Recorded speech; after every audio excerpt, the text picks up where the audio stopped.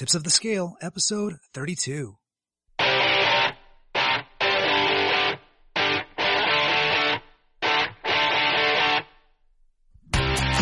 Welcome to tipsofthescale.com, your home for weight loss motivation. Tune in every week for weight loss success stories from around the world and for expert tips on diet and exercise. And now, your host, Sam Lamelli. Hey there, Scale Warriors, and thank you so much for joining me for another episode of Tips of the Scale, your home for weight loss motivation. Do you love great audio content? I know you do because you listen to this show. If you want to support Tips of the Scale, please go to scale.fm slash audiobook and sign up for a free trial of audible.com. You'll get a free audiobook from their over 150,000 title library, and you can listen anytime, anywhere on your iPhone, Android, Kindle, and many other devices. So again, support this podcast and go to scale.fm slash audiobook. Okay, Scale Warriors, let's get started. I'm thrilled to introduce my guest today. And this is Joe from Southern England in the United Kingdom. I'm super excited to have him on the show. Joe, how are you today? I'm well, thank you, Sam, and it's a pleasure to be on. Thank you. I'm, I'm so excited to have you on and I'm very glad that, that you made time in your, in your evening today to spend with us here at Tips of the Scale. So I've given our, our listeners just a really brief introduction about you, but go ahead and take a minute and uh, tell us more about yourself. Help us get to know you. Sure, I'm a 43 year old male. I'm married and I live and work about an hour north of London uh, in the finance and accountancy field. So uh, I have a sedentary office job. Uh, basically, it's, it's challenging, it's it's good fun, but it is hard work. Very good. I think a lot of people can relate to what it's like to be in an office all day. I, I know I, I, certainly feel it when I've been sitting for too long. We'll get a little bit more into kind of lifestyle and, and, that here in a little bit. I'm really excited to get started. So thanks for giving us that, that intro. As you know, Joe, we like to start off tips of the scale with a motivational quote to get the inspirational ball rolling. So what do you have for us today? Okay, I'm going to give you an oldie but a goodie. it's Carpe Diem, uh, which is the Latin for seize the day. Yes. Um, the reason I like it, Sam, is because when I was younger, I didn't really understand it. But I think now I realize that each day when I wake up, that's a, a unique day. That's not going to happen again. It's a one off. And when I go to bed at night, I want to be sure that that day has meant something, that I've done something that day that's positive, whether it be diet related or not, but that I have done something that makes that day good for me. And that's why it's become an important motto for me. Mm, I can definitely understand why. That's such a powerful outlook and a great way, in my opinion, to, to live one's life. Thank you for sharing that with us today. So now that we've gotten to know you just a little bit, let's let's dive into your story and let's go back to kind of where it all began for you, Joe. When did the weight gain begin for you, and what do you think contributed to it? I have been overweight since I was about eight years old.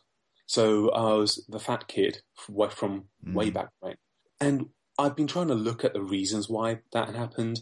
Uh, at the, um, just my background is I'm uh, the son of immigrants, and so we, we came in. They came into England uh, in the 1950s, and back then it was a difficult environment. You don't have the sense of acceptance you have now. There was a lot more uh, racism and, and problems in that regard. So mm. I kind of stayed at home, became the bookish kid who would read and study, and it was easier than going out and facing the world. And one thing that became a, a, comfort for me or a solace for me was food.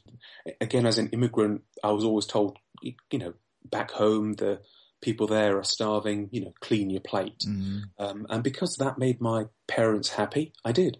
And, uh, also, my mother, she is a great cook, which doesn't, doesn't, help. Um, so it really, it was food is something that gives me solace, comfort, and uh, it doesn't criticize and it doesn't give you a problem. It, it, it you know, you can nurture it. So uh, that I think really is the source of what made me overweight. Um, at my at my heaviest, I think I was probably a little north of 300 pounds or 136 kilograms. Um, I didn't really weigh myself then uh, because I really avoided the scales. I, I, didn't want to face what I what I knew. Right. That really is uh, where where it's been. Uh, always been the big kid. Um, Um, I mean, I'm big framed anyway now. I'm broad shouldered, but uh, just from a weight perspective, it's ever since childhood. Yeah, I can relate to what that was like. Now, now, share share with us a little bit about what that was like for you from a emotional and maybe physical difficulties. You know, what what kind of challenges did you run into as a direct result of being overweight? I think emotionally, um, a lot of people who are overweight and obese will probably relate to a reduced sense of worth or mm. self image. Um, uh, why do I say that? Well, it's it's still okay, even today. It's still okay to make fun of fat people. You know, there it's still not seen as a as a bad thing to do. Whereas making fun of somebody's um, sexual orientation or or religious or, or ethnicity isn't acceptable. But making fun of somebody's obesity, regardless of how they got into that situation, is is seen as just being you know okay and obese people are seen as being, in some ways, architects of their own misfortune, mm-hmm. and therefore, uh, you know, their game, their fair game. Um, so that emotionally, that puts, um, certainly from my perspective, it always put me on the defensive. Um, if, if I would meet new people or in business situations or potential social situations, you would always feel you were being judged on your appearance, not on what was inside, whether I was a, a good guy or a bad guy, but just basically on how I looked. And that was and has contributed to its own difficulties growing up. Um, um, physically, I mean, I think it's from, well, in school, always being picked last for mm. any team sports, always yeah. feeling, you know, the outsider. I mean, kids are terribly cruel anyway, and they, they will poke fun. Um, but even after I became an adult, um, if I were to say reunions were something I wish I could have gone to but avoided, mm. um, I've avoided seeing old friends because I've gotten bigger as I've gotten older. And, you know, that, it, it really affects your life and physically you, you can't do as much. Um, I, you know, I remember huffing and puffing. Even a short flight of stairs would be uh, enough to make me sweat. Um, I would always feel hot in the office. I would always want the windows open if everyone else didn't. Yeah. My knees. Um, I've got a bum left knee, and that is not helped by the weight. Mm. Um, I'll give you a couple of other examples of physically how things are affected. Okay. Little little things around the house, basic home maintenance.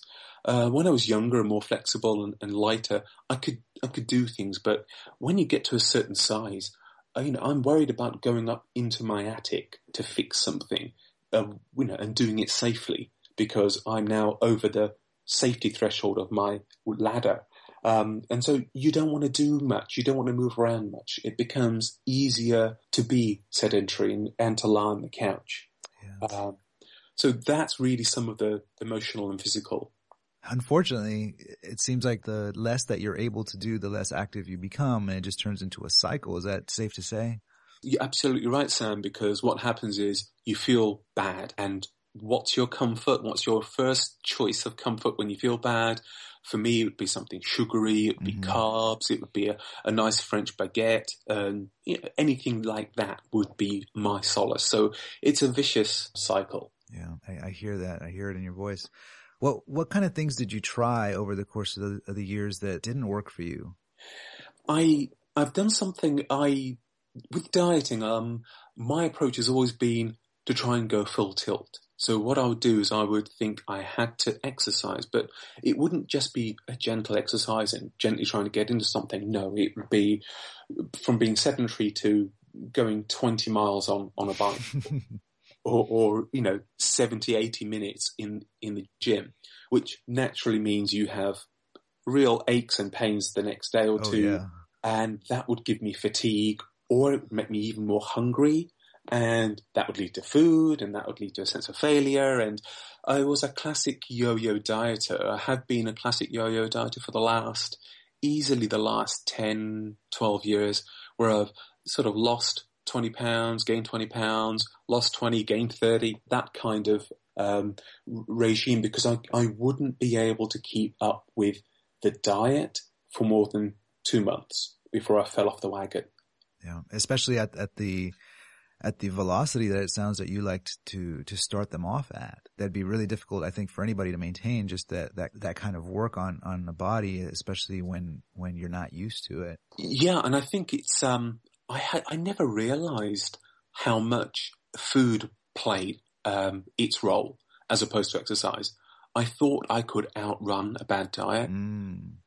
and you can't.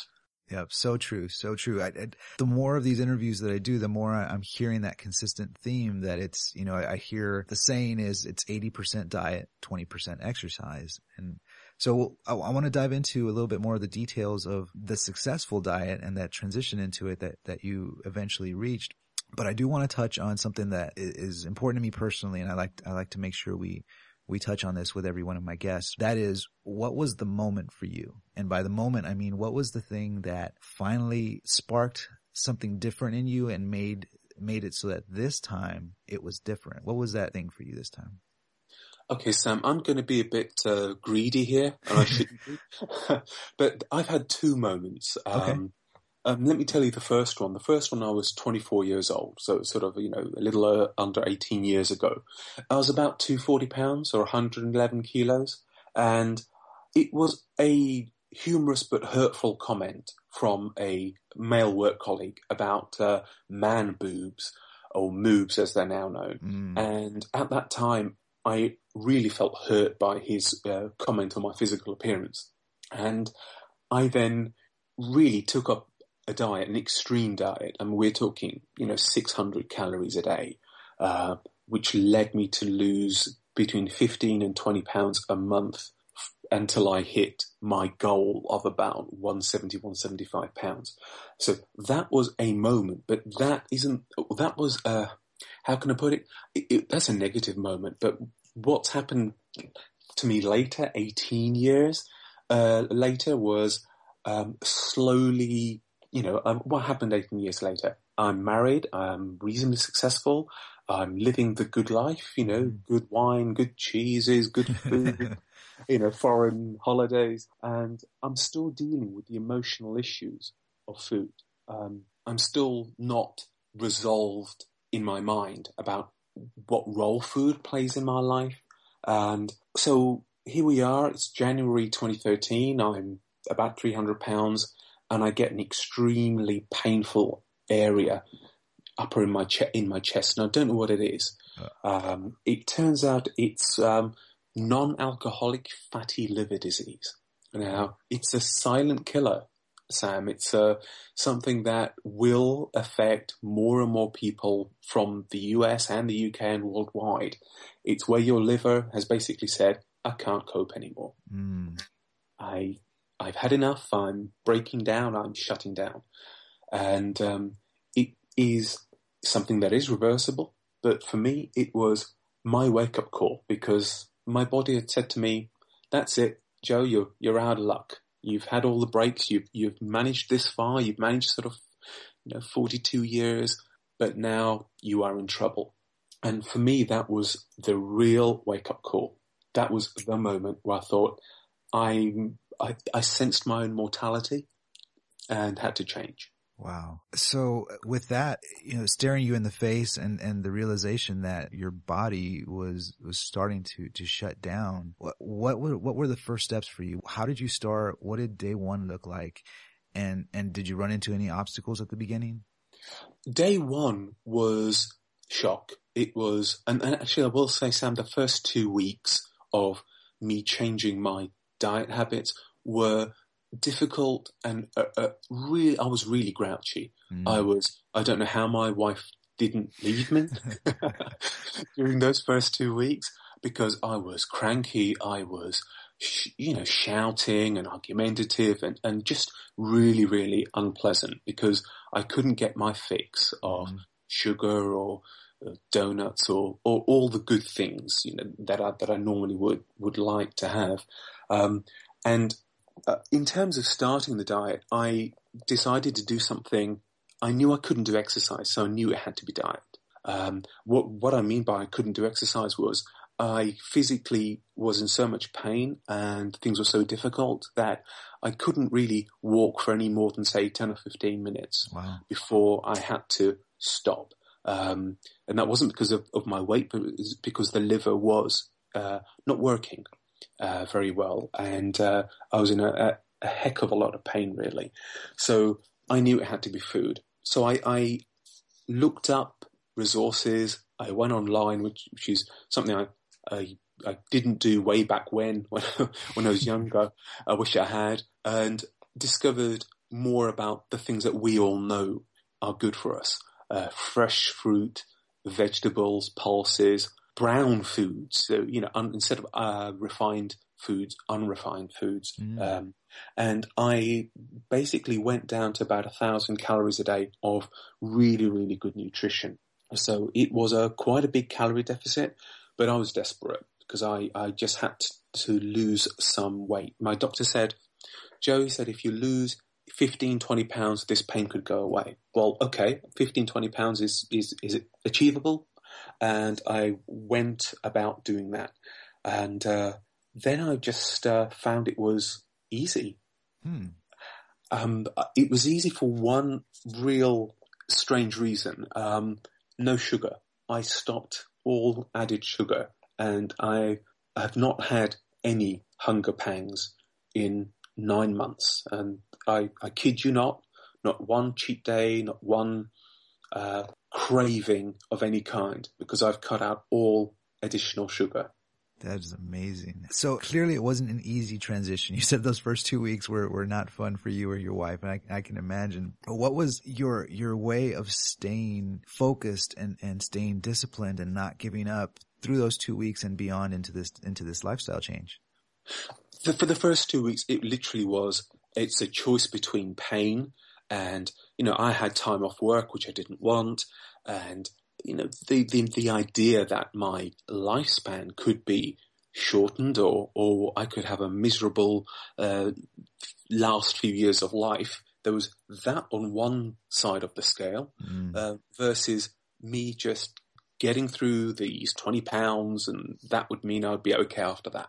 So though that was what initially what, what happened, but, um, truthfully, af- after I started replacing all of my refined carbohydrates and, and cheese and all that kind of thing with with fresh, wholesome food, home cooked, um, you know, high fiber, low fat. When I replaced that, I found that I just didn't get hungry. It was um, amazing, and it's it's still to this day.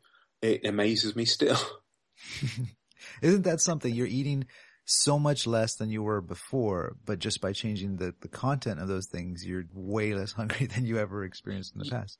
Yeah, and I mean, there's good science behind it. Um, you know, everybody knows that fiber is good, not just because it, it keeps you regular, but also insoluble fiber is great for your arteries, but it keeps you fuller longer.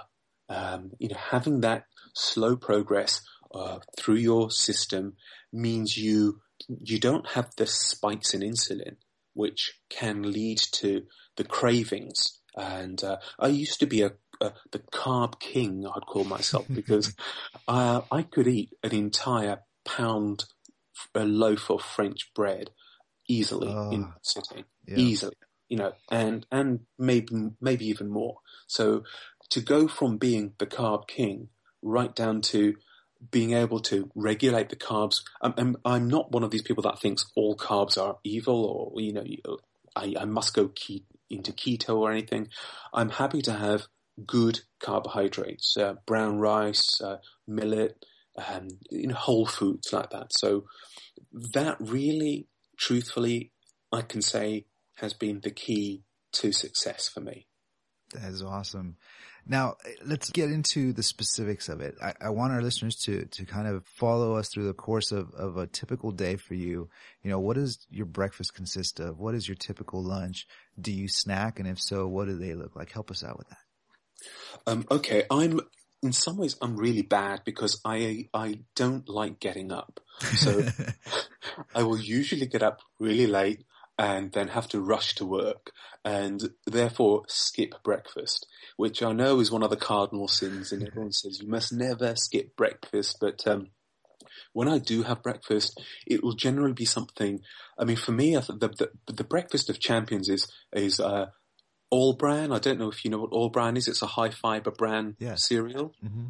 and that with a sliced banana, for example. So, you know, about 300 calories of, of a good mixture of, of sugars and, and fiber, uh, with some skimmed milk. That, that does me a treat.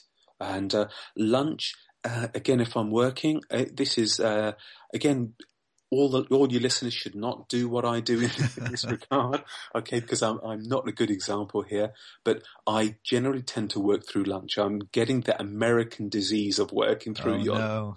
oh yes, we're slowly becoming like that over here in the UK.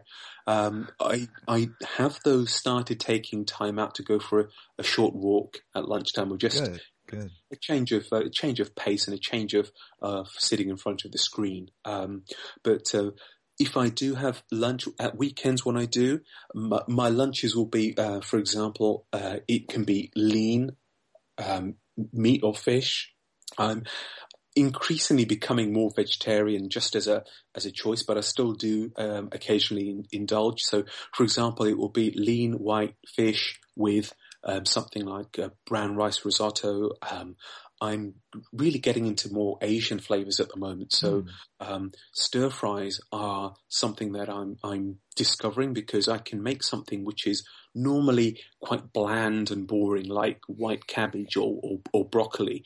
And, uh, when you add in something like five spice or and ginger and chilies, you suddenly transform it, um, at no cost in calories into something that's flavorsome and appetizing.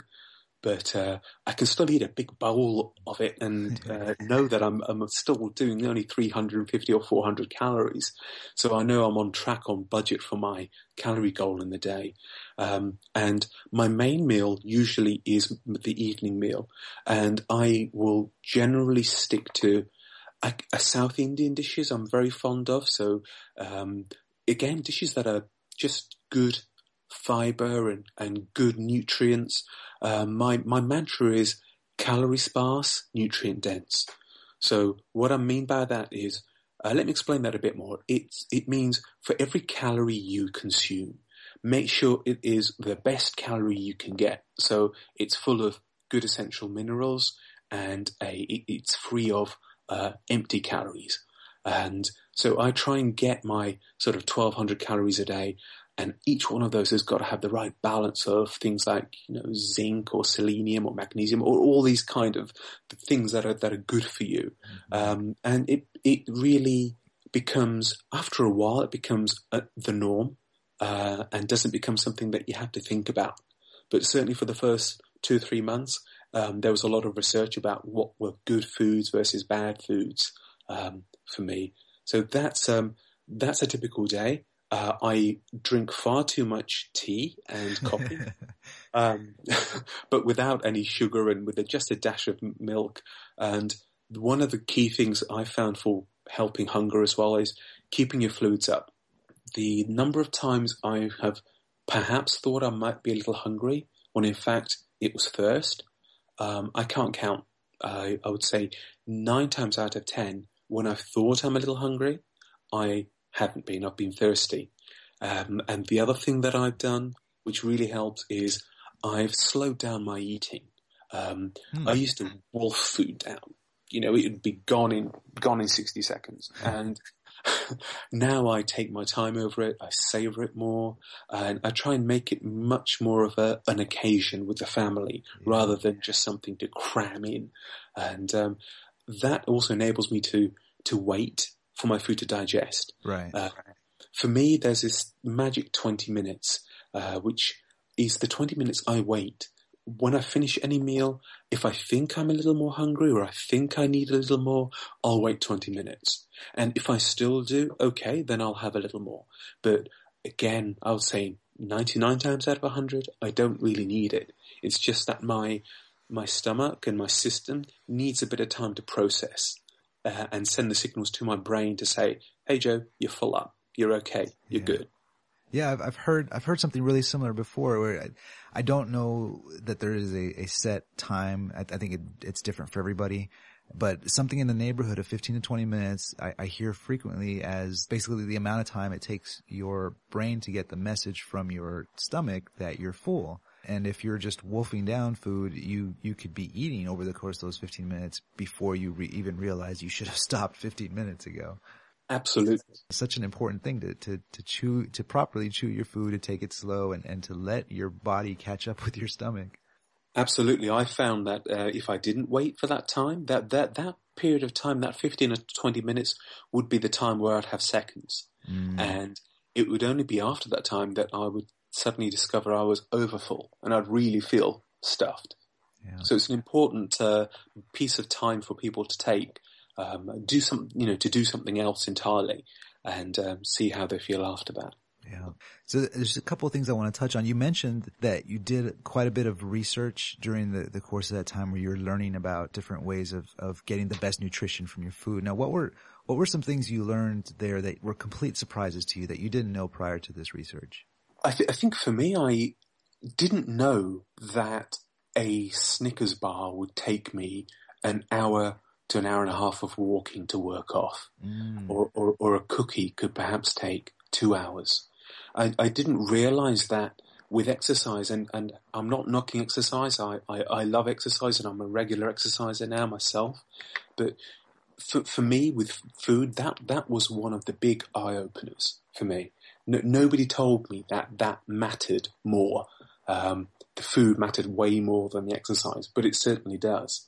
Yeah, it's when you put it into a comparison of how long it takes to eat 300 calories versus how long it takes to burn it off, it gets a lot easier to put that cookie away or, or that, that bag of chips away or something like that because it, it really takes a lot longer than most people assume it does. And, and that's, that's not the first time I hear that. And that's such an important lesson I hear people say, "Oh, I can I can have this burger or this slice of pizza or this fried meal. I'll work it off later. You know, I'll, I'll, run an extra twenty minutes on the treadmill, or I'll I'll, I'll do you know a couple minutes of jumping jacks or, or jump rope or something like that." In the misguided notion that they'll balance each other out when in reality, you know, to burn off 300 calories for some people can be an hour of walking. Absolutely. At the moment, for me to burn off 300 calories, takes me about 25 to 30 minutes of, of jogging. Yeah.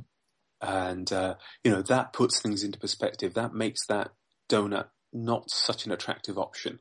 Yeah. It's, it's not a good use of your time to, to do with those calories. That's such an important thing. I'm, I think that you learned it this time around with this effort at losing weight was probably one of the, the key things that made you successful this time. Oh, I mean, there are there are a couple of other resources. Uh, within Reddit, uh, there is a subgroup called Lose It, mm-hmm. and it is a really great resource. I found it has helped me uh, keep motivated and also to help, I hope, motivate others um, as well because it's a, a support forum for like-minded people and, and I think it's one of the nicest places on the internet. There are so many great people out there who, who will give help and support. So that has been a useful resource. Um, I, I, found that that uh, the University of California in San Francisco, UCSF, did a great series called The Skinny on Obesity.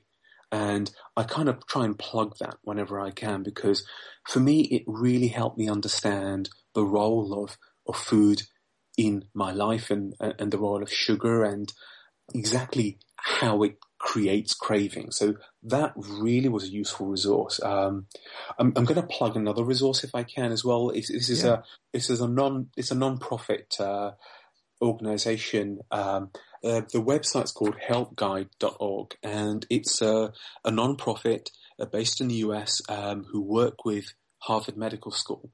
And they had a great article on stress eating and mm. what causes stress eating. And it really helped turn things around for me and understand what the drivers were for my eating behavior.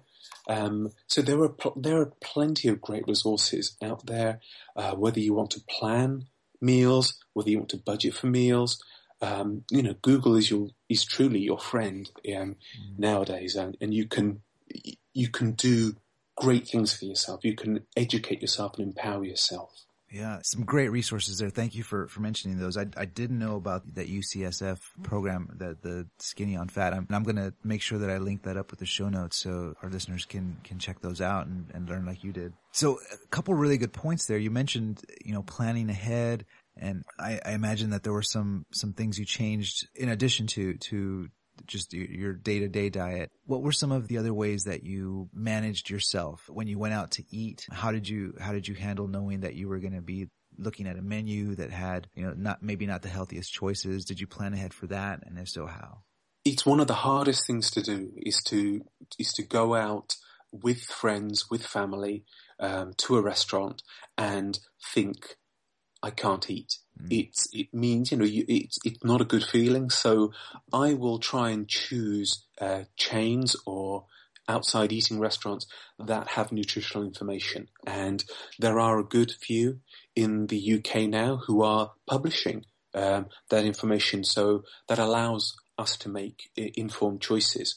So it means I can enjoy, for example, a pizza with salad, which is only 500 calories, which sounds insane, but there is one mm-hmm. uh, chain here in the UK that does really, uh, really fancy pizzas. They're they're fantastic. So you can uh, you can eat out, and you can eat out well um, if you choose well. Um, I'll give you another example. Um, Sam, one of the worst places in the world you can go if you're trying to diet is on a cruise. Now, uh, mm. Uh, my wife and I had a cruise booked. Uh, we booked it a long time ago, and it was a two-week cruise. And usually that is the start of a bad relationship with because you have endless all-you-can-eat buffets, twenty-four-seven yeah. pizza stations, etc. And the cruise line we went with, they themselves are realizing this, and they do a, a special menu which is designed for people who are looking after their weight or for, for example, for diabetics who don't want um, sugar, etc. So we chose those healthy options, and again, they were calorie counted and balanced, and they were fantastic. There were some of the, you know, the the meals looked better than some of the the regular options, um, and I actually lost in in two weeks. I lost six pounds on that cruise. Wow. which I think has got to be, uh, uh, you know, for me, it's a record anyway, but uh, it's because we were active. You know, we were sort of walking four or five miles a day in, in, in all these new cities and also having a healthy lifestyle. And they had a gym on board as well. So you, you can do it. You, it, going on a diet doesn't mean you become a hermit. You, you know, you kind of have to hide yourself away or you, you, you become some kind of, uh, food freak. It, you can live your life and enjoy uh, a good, healthy, balanced diet. It's entirely possible. Right on. And you're, you're a perfect example of that. If anyone could, can lose weight on a cruise, one of the most tempting places of, uh, on, on the planet. I know that everyone I know who's been on one, uh, one of the things mentioned is like the never ending ice cream, the never ending buffets, just like you mentioned. And it's, can be such a temptation, but I, I think you're a testament to the fact that if you are keeping yourself disciplined, then it's absolutely possible. And enjoyable and enjoyable. Absolutely. There's so much to do on there besides eat. I'd imagine you, you, probably had a better time than, than the folks who were gorging themselves and then had to go and pass out in their cabins because they, they had eaten too much. Oh yeah. And we, um, little things like, for example, not taking the, the elevator or we call them lifts here in the UK. Right. Uh, so we would always go up and down the stairs. So you can do things, even just little things, small steps, small changes um, during the course of, of any day um, to help yourself. Very cool. So that brings me to, to something else I wanted to touch on. You mentioned that you you exercise a lot more these days than you in the past. What kind of routine or, or regimen are you keeping up with now? Okay. Well, let me say, I've, i want to say some one important thing first. The first sixty pounds that I lost was done through walking alone as an exercise. There was no biking, there was no running. I couldn't physically do it because I wasn't well enough. Right. So for anyone out there who thinks I can't exercise, I can't get on a uh, an elliptical, I can't get on the the treadmill, you don't have to. You can just go for a walk after dinner for 20 minutes and it begins and the first 60 pounds of my loss, I'm currently at the 95 pound loss mark, but the first 60, so two thirds, has been solely through walking. Um, and after walking, I decided I was going to try a, a great little program called Couch to 5K. Yeah. Uh, yeah. It, I think there's a, there's a bit of a cult following again on, yes. on on Reddit for it, and the goal of the program, which is completely free to use, you, you, I, I got my free podcasts from the United Kingdom's uh, National Health Service, where they do some fantastic free to download podcasts which are timed and they've got music and you know they're fantastic. But uh, they're designed to take you from nothing, from you know being able to barely run, um, to five kilometers or, or, at least thirty minutes running. And uh, I've just completed that um, and uh, I've caught the bug. So now I am uh, trying to do the bridge to 10k. So uh, it um, it's a virtuous circle. So uh, it's it's great that you can start these things, small things, one step at a time, and uh, you you go from being a vicious circle into a virtuous circle. Um, and also, i have I've discovered my my bicycle again. Um, we've had great weather in, in, in the UK uh, recently, a wonderful sun and just the uh, wind in your hair and, uh, you know, being able to, to get somewhere without worrying about the traffic jams, uh, is fantastic. It's, so cycling and running are now my, uh, primary forms of, of exercise and I, am slowly sort of recovering health wise and, and I plan to start going back to doing a little lightweight training. Um, but as, as yet, I, I can't. But um, the, the, takeaway here is you don't have to absolutely pound yourself mm-hmm. uh, in in the gym. You can do it through simple exercise alone. I'm proof of that.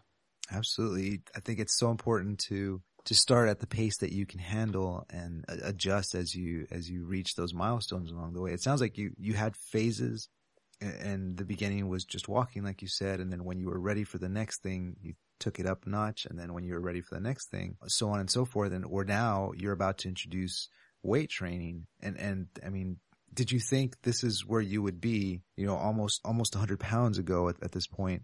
Did you think that you would be cycling now and considering lifting weights at this point?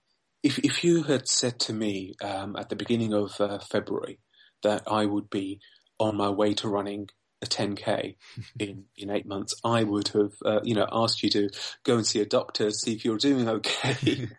I uh, no, and uh, the, the thing is, it is doable. It's achievable. If if you're out there and you're thinking, oh well, this is a story of a guy um, who who just did, and hey, I couldn't do that. Well, don't think that because I have also been a failed dieter, you know, and and I've, I've been a yo-yo dieter for ten years but a few simple changes and a few a little bit of education.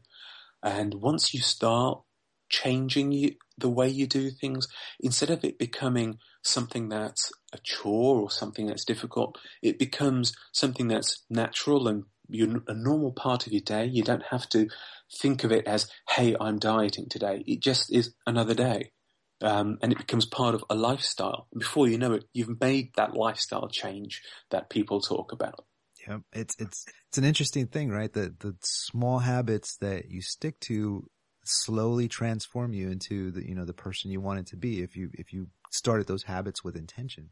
Absolutely, and it just it's I will say that the longest journey, the longest journey starts by taking one step. And I think that's something that, that I've, I've really have found out for myself. Every journey begins with one step, but take that step. Absolutely. Some great advice. Uh, Joe, you know, I heard something in your voice there. I want to come back to you really, really quickly. And that, that's when did you know or have the realization that you were making progress? You know, where along the way did you actually step back and go, Hey, I'm getting somewhere. And how did that feel? There were a couple of things. First of all, it was the the trousers uh, or pants, as you call them in the US, uh, were looser. Now, I was getting to the stage where I had a 46 inch waist and that was painfully tight. And I needed to have uh, a 52 inch jacket. So, you know, a pretty big guy. And uh, when that 46 inch pair of trousers suddenly becomes comfortable and then becomes loose and you realize that it's bunching up, then you realize something's happening. And, and initially it's hard for, for yourself to personally accept that this is happening. It's, it's, uh, I think I look in the mirror and I think I've made no progress, but the clothes will tell you something. So uh, I think I would say the tape measures are a really useful friend or your clothes are a really great friend because they don't lie. You know, whereas when you see yourself in the mirror, you may, for whatever reason, think that you haven't lost anything or you, you may even think you look worse, but your clothes won't lie. So that was one moment. And uh, the other moment was when work colleagues who have been, you know, to a man and woman, really supportive and really kind would say, hey, you're looking trimmer, or hey, you know, you're looking younger, or, or hey, there's something about you that's changed. And that kind of praise uh, is is fantastic, and it's it keeps me going as well. That's awesome. That, has got to be such a great feeling, and and when you've been working so hard for it, it it's got to be fantastic. Now, looking back, you know, where, where you're standing now, almost a hundred pounds lighter, now that you've been through this hundred pound journey, if you could have changed something or done something different, you know, maybe from something you've learned along the way or just now that you're, you're a little wiser, um, if you could go back and, and change something, do something different, what would it be? Do you know, I, I don't know if it's do something different. I would just say that I would tell myself that this is something that you will love. Now, by that, I mean, I had always thought that this would be something I'd hate. It'd be pain every day. It'd be sacrifice every day. It would be, you know, every day would be a miserable day. But if there's one thing I could have told myself is that actually you will love this and you will really find it an enjoyable process. Um, you know, I think that would have made me even more motivated than I am now. Right on.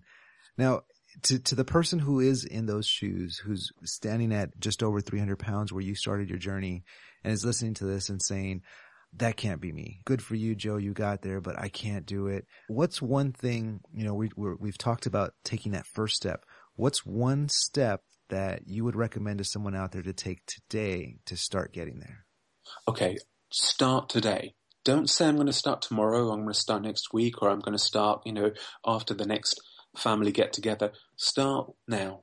And the one step I'd say is do something that you can do.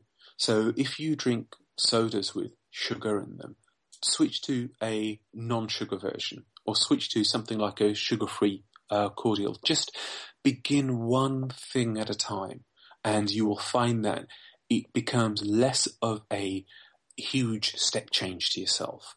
Uh, it's something that you can hopefully do one week at a time. So just uh, what this week do one thing, next week do another, and eventually you'll find yourself wanting to do these things. And whether it be, am I going to take that that walk today? You know, it, hey, the weather's not so great outside. Well, okay, get an umbrella. You know, don't put off what you can do, but do something. Don't listen to this podcast and and then switch off and then think, I'll do this tomorrow. Don't do it now. Do it today and then you have seized the day. I like that full circle. We are back to your quote, and I see where where you live it. I, I love it, Joe. I love it. That's such great advice, and I, I agree with you hundred percent. Start today. So, Joe, you, you've given us some really great advice today, some really practical tips, and, and some great insight into what this journey has been like for you. What what are some helpful resources? You've already touched on a couple, but what are some other resources maybe you can recommend to our listeners? Um, I would recommend MyFitnessPal. It's a tool that helps you track your calories, and it has got so many foods in because it's um, helped. The maintenance of it is done by users like myself, and I have found that really helped educate me into, you know, what a portion size was, and that is a really great useful resource. And there are plenty of friends you will find on there. So MyFitnessPal, a great resource. Um, and also, I would recommend another one called The World's Healthiest Foods. If you just Google World's Healthiest Foods, it will be the top hit. It's like a non-profit organization, and there it it tells you what the most healthy foods are for the weight of food. For example, you know, you, did you know you could have a pound of, of kale with something like ginger and, and water chestnuts and, and it would be, you know, less calories than a cookie and wow. it, you know, it, it's just a great resource, um, and uh, that that's really useful. Um, Reddit, come along to Reddit. Uh, my name, my Reddit name is Vegmeister, so um, please say hello. I'm a, a, frequent lurker and poster on the Lose It forum, and uh, it, it, it's where Sam got hold of me actually. Yeah. Um, so uh, that's a great resource as well, full of supportive people. Absolutely, it's a it's a great community on there, and and I've had the pleasure of meeting people like you who have been very generous with their advice and their encouragement to others. So it, it's a very cool place. I would recommend it as well. Thank you for that, Joe. Thank you. So as we're as we're wrapping up here, I, I would like to ask this final question just as a, a fun thing that gives me a little more insight into into your personality and just something that our listeners can can go and explore as well. And that's you know what is a, a personal favorite either song or artist that you keep on your gym playlist to get you fired up for your workouts. Okay, for workouts, for running, I want something that's reasonably fast paced, and um, I have a secret love of techno music, which I know I'm 43 years old and I'm listening to techno music. Yeah, I am. Oh, it's timeless. Um, I love the Chemical Brothers. So I will get a, a, whole sort of random list of, of work by the Chemical Brothers, and that will make that run, uh, that half hour run, seem like it's only a 10 minute run. Um, so I, I really recommend those. Very cool. They they definitely have some really great beats. I haven't I haven't heard some of their stuff in a while, but I, I think I'm gonna go pull up a couple of their MP3s now. You'll enjoy it. Thank you for sharing that, Joe. That's awesome. I'll link up. If, do you have a favorite a favorite song or a favorite album of theirs? Um, my favorite album is Surrender, Surrender, and it's a great album. Right on. I'll link to that album in the show notes so our listeners who haven't had the pleasure of listening to Chemical to Chemical Brothers before can go check them out for themselves. Maybe maybe find something new they love and, and can work out to as well. So Joe, we're, we're coming up on our time. And again, I want to thank you for, for being so generous with your time and advice today. What is one parting piece of advice that you'd like to share with our listeners? I would say, I, I think I just have to reinforce what I've said is, which is begin, do it.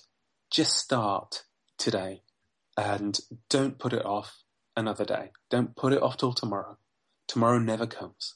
Carpe diem there you have it, ladies and gentlemen. Very inspirational words and, and some great advice from, from Joe in uh, Southern England in the UK. Joe, thank you so much again for your time and all this great information today. Tips of the Scale is, is a, a better place for having your story today. Thank you.